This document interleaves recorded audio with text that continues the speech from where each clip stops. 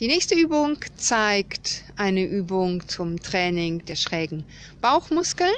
Wir haben hier im Freibad eine wunderbare Bank entdeckt, denn der Boden ist noch ziemlich kalt, um sich darauf abzulegen. Wenn ihr die Übungen zu Hause macht, legt euch einfach auf den Boden. Ähm, die Beine wird der Simon jetzt anwinkeln. Genau in einen rechten Winkel. Fußspitzen gerne zum Schienbein ziehen. Wenn ihr für eine bequeme Lage ein Kissen unter den Kopf nehmt, könnt ihr dadurch ein bisschen die Halswirbelsäule entlasten. Wichtig ist, der Rücken sollte auf der Unterlage liegen.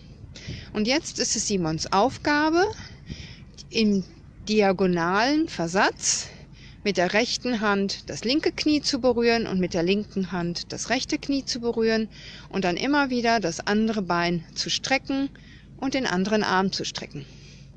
Weil das ein bisschen kurios aussieht, heißt die Übung der Käfer.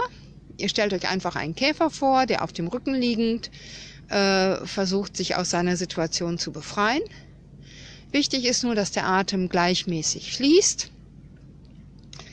und nicht ruckartig, sondern in einer fließenden Bewegung gearbeitet wird. Der Erfolg sind schöne, straffe Rumpfmuskeln, die nachher auch im Alltag wunderbar geeignet sind, um die Wirbelsäule zu entlasten. Simon, vielen Dank.